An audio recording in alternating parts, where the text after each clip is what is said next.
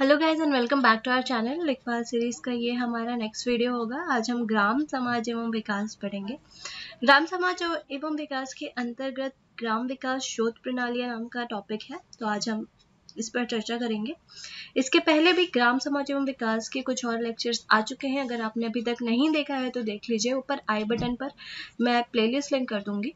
UP लेखपाल की एक डेडिकेटेड प्लेलिस्ट है तो आप वहाँ से जाके सारे वीडियोस देख सकते हैं। मैथ्स के कुछ लेक्चर्स हिंदी के कुछ लेक्चर्स और अभी ग्राम समाज एवं विकास के भी कुछ लेक्चर्स आ चुके हैं। तो आप जल्दी से जाइए प्लेलिस्ट देखिए और अपनी तैयारी स्टार्ट करिए। तो आज का फ़र्स्ट क्वेश्चन है, सामाजिक शोध विधि का संबंध पाया जाता है। यानी सामाजिक शोध विधि का संबंध इनमें से किसमें पाया जाता है? सामाजिक घटनाक्रम, मानव व्यवहार सामाजिक जीवन के विभिन्न पक्ष या उपरोक्त सभी। तो देखो, सामाजिक शोध विधि का संबंध इन सबसे पाया जाता है, यानी सामाजिक घटनाक्रम, मानव व्यवहार, सामाजिक जीवन के विभिन्न पक्ष, यानी उपरोक्त सभी आपका ऑप्शन नंबर डी करेक्ट हो जाएगा। ठीक है? आगे चलते हैं क्वेश्चन नंबर सेकंड पे। निम्न में कौन सामाजिक शोध विधि की विशेषता नहीं है? इनमें से सामाजिक शोध विधि की विशेषता कौन सी नहीं है, ये आपको बताना है। ये ध्यान दीजिएगा कि नहीं है पूछ रहा है। वैज्ञानिक पद्धति, नए तथ्यों की खोज, सांख्यिकीय विश्लेषण की कमी, या प्रमाणों का विश्लेषण। तो देखो, वैज्ञानिक पद्धति तो सामाजिक शोध विधि की विशेषता है। नए तथ्यों की खोज भी विशेषता है और प्रमाणों का विश्लेषण भी विशेषता है। सिर्फ़ ये सांख्यिकीय विश्लेषण की कमी, ये विशेषता नहीं है, यानी आपका ऑप्शन नंबर सी क्या हो जाएगा? करेक्ट हो जाएगा। ठीक है? अच्छा इसमें और क्या क्या सी और कौन कौन सी विशेषताएँ होती हैं? अगर आपसे ये पूछे तो देखो, सबसे पहले तो वैज्ञानिक पद्धति है, नए तथ्यों की खोज, पुराने तथ्यों का सत्यापन, तथ्यों एवं प्रमाणों का विश्लेषण, तथ्यों का संबंध स्पष्ट करना, ये सारी चीज़ें क्या है? इसकी विशेषताएँ हैं। अगला क्वेश्चन है कि सामाजिक शोध विधि के विषय क्षेत्र में कौन शामिल नहीं है?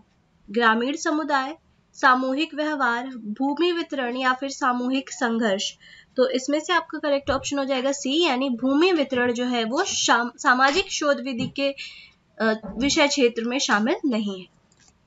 अगला देखेंगे क्वेश्चन नंबर फोर सामाजिक शोध विधि का व्यवहारिक उद्देश्य कौन सा है? समस्या समाधान सामाजिक नियंत्रण, सामाजिक विघटन निराकरण या फिर ये सभी। सामाजिक शोध विधि का व्यवहारिक उद्देश्य समस्या समाधान भी है, सामाजिक नियंत्रण भी है और सामाजिक विघटन निराकरण भी है। यानी ऑप्शन नंबर डी ये सभी करेक्ट ऑप्शन हो जाएगा। अगला चलते हैं क्वेश्चन नंबर फिफ्थ की तरफ़। निम्न में से कौन सामाजिक शोध विधि की समस्या नहीं है? यानी कौन सी समस्या नहीं है? ये ध्यान रखना। निर्देशन निदर्शन चयन की समस्या, सामाजिक विघटन का निराकरण, वस्तुनिष्ठता का अभाव, या फिर सही माप का अभाव। तो यहाँ पे आपका करेक्ट ऑप्शन हो जाएगा बी यानी सामाजिक विघटन का निराकरण। यह सामाजिक शोध विधि की समस्या नहीं है। ठीक है? आगे चलते हैं क्वेश्चन नंबर सिक्स निम्न में से कौन सामाजिक सर्वेक्षण शोध के उद्देश्य है? सामाजिक घटना का वर्णन कार्य कारण संबंध की खोज, रचनात्मक कार्य या फिर उपरोक्त सभी। तो यहाँ पर भी आपको ऑप्शन नंबर डी उपरोक्त सभी करेक्ट हो जाएगा। यानी सामाजिक सर्वेक्षण शोध के उद्देश्य क्या क्या है? सामाजिक घटना का वर्णन है, कार्य कारण संबंध की खोज है, रचनात्मक कार्य भी है। ठीक है? आगे चलते हैं। क्वेश्चन नंबर सेवन की तरफ़। सामाजिक सर्वेक्षण पद्धति का प्रमुख गुण नहीं है। इनमें से कौन सा सामाजिक सर्वेक्षण पद्धति का प्रमुख गुण नहीं है? वस्तुनिष्ठता, वैज्ञानिक परिदृश्य, समस्या का चुनाव या फिर गुणात्मक सूचनाएँ।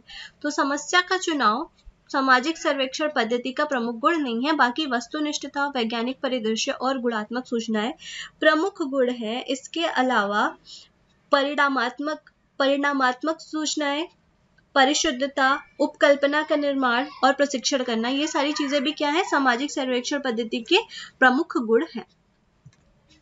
अगला देखेंगे क्वेश्चन नंबर एट। सामाजिक सर्वेक्षण पद्धति के प्रमुख दोष। अब भी हमने गुण देखे, अब आपको दोष बताने हैं।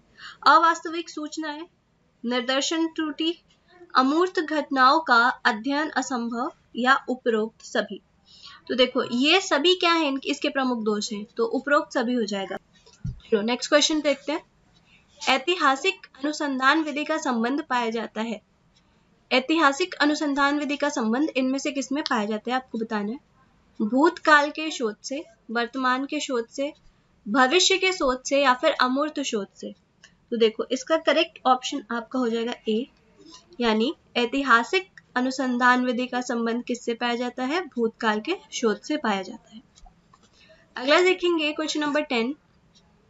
ऐतिहासिक अनुसंधान विधि के अध्ययन क्षेत्र में शामिल पाया जाता है। इनमें से कौन सा ऐतिहासिक अनुसंधान विधि के अध्ययन क्षेत्र में शामिल है? संस्थाओं का कार्य, संवैधानिक व्यवस्था का अध्ययन, मनोवैज्ञानिक विचारों का विकास या फिर उपरोक्त सभी? तो देखो उपरोक्त सभी, यानी संस्थाओं का कार्य, संवैधानिक व्यवस्था का अध्ययन और मनोवैज्ञानिक विचारों का विकास, ये तीनों ही ऐतिहासिक अनुसंधान विधि के अध्ययन क्षेत्र में पाए जाएँगे। अगला देखिए क्वेश्चन नंबर इलेवन। वैज्ञानिक पद्धति का सामाजिक शोध कार्य किस पर आधारित नहीं है? चिंतन पर, परीक्षण पर, प्रयोग पर या फिर तार्किकता पर? तो ये चिंतन पर आधारित नहीं होता है, बाकी परीक्षण, प्रयोग और तार्किकता पर आधारित होता है। क्वेश्चन नंबर ट्वेल्व की बात करें तो निम्न में कौन वैज्ञानिक शोध पद्धति की विशेषता नहीं है? ये ध्यान रखना कौन सी विशेषता नहीं है, ये बताना है। सत्यापनशीलता, तार्किकता, भावनात्मकता या फिर निश्चितता। तो भावनात्मकता ये वैज्ञानिक शोध पद्धति की विशेषता नहीं है, बाकी सत्यापनशीलता, तार्किकता और निश्चितता विशेषताएँ हैं। अगला देखेंगे क्वेश्चन नंबर थर्टीन सामाजिक समस्याओं के शोध कार्य में वैज्ञानिक पद्धति के तहत अपनाए जाने वाले प्रमुख चरण में कौन शामिल नहीं पाया जाता है? समस्या का चुनाव करना, चरों का चयन करना, सामग्री संकलन करना या फिर सार्वभौमिक सिद्धांत स्थापित करना। तो यहाँ पे आपका करेक्ट हो जाएगा ऑप्शन नंबर डी यानी सार्वभौमिक सिद्धांत स्थापित करना। सामाजिक शोध कार्य में तुलनात्मक विधि के तहत निम्न में से किसका अध्ययन किया जाता है? रीति रिवाजों का, सामाजिक परिवर्तन का, विशिष्ट सामाजिक घटना का। देखो करेक्ट ऑप्शन हो जाएगा ये सभी, यानी रीति रिवाज, सामाजिक परिवर्तन और विशिष्ट सामाजिक घटना। अगला है क्वेश्चन नंबर फिफ्टीन दिया गया निम्न कथन किसका है? ये कथन दिया गया है स्टेटमेंट आपको बताना है कि ये किसने दिया है। तुलनात्मक पद्धति या विश्लेषण का तात्पर्य, केवल कुछ सामाजिक घटनाओं के बीच तुलना करना ही नहीं होता, बल्कि तुलना के माध्यम से उसकी व्याख्या करना भी होता है। गिन्सबर्ग रेडक्लिप ब्राउन, बोगाडर्स या फिर कार्ल पियर्सन। तो ये जो स्टेटमेंट है, ये है गिन्सबर्ग का, यानी ऑप्शन नंबर ए करेक्ट हो गया। तो आज के लिए इतने ही क्वेश्चन अब नेक्स्ट आगे इसमें बहुत सारे क्वेश्चन हैं, पर वो हम नेक्स्ट लेक्चर में करेंगे। तो अभी के लिए इतना ही। कोई अगर डाउट हो तो आप मुझसे कमेंट में पूछ सकते